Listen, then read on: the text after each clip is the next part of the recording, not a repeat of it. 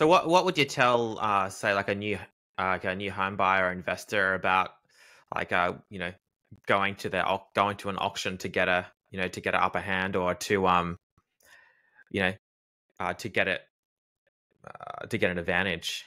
Yeah, well, there's you two see it from parts the other that. side. Yeah. Yeah, there's two parts. You get you get the to try and get a buyer, sorry, a seller to go to auction.